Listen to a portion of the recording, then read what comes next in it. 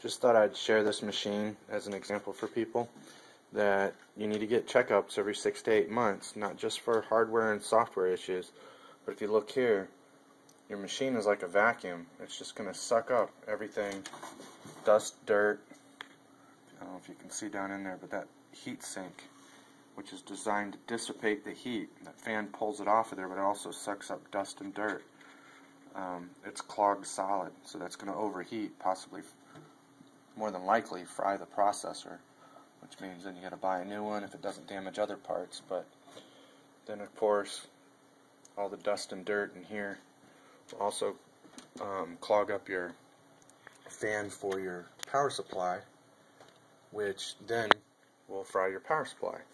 And I'm hoping that's all that's wrong in this case. We can swap out the power supply and everything be up and running. Uh, we will see.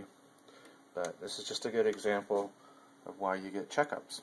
You know, what we do is we'll blow out all this dust and dirt, but we do it with a um, non-electrostatic discharge um, system so that you don't uh, introduce inconsistent electricity like brownouts, sags, arcs, and spikes that could uh, damage your computer.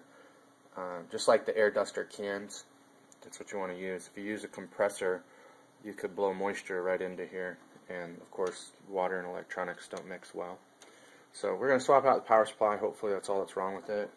Um, it may have overheated the CPU and fried it too. I don't know yet, but we'll find out. I'm going to blow this all out and then we'll uh, try to start it back up. If it still doesn't run, then we'll swap out the power supply. If it, uh, it may fail from there, we'll be able to know from error codes uh, from the BIOS after that. But I'm hoping for this customer it's just a power supply. But uh, just another little short video to help you guys uh, maintain your machines out there.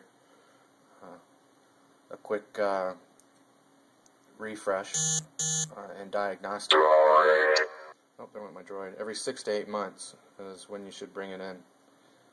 If it's been longer than that, you've waited too long. There's just one reason. I mean, there's also spyware, viruses, updates, security patches, malware. There's all kinds of other reasons why you need to get it checked out. But this sort of thing doesn't happen if you bring it in regularly for maintenance because we clean it as a part of our service for no additional charge. Alright, see you guys later.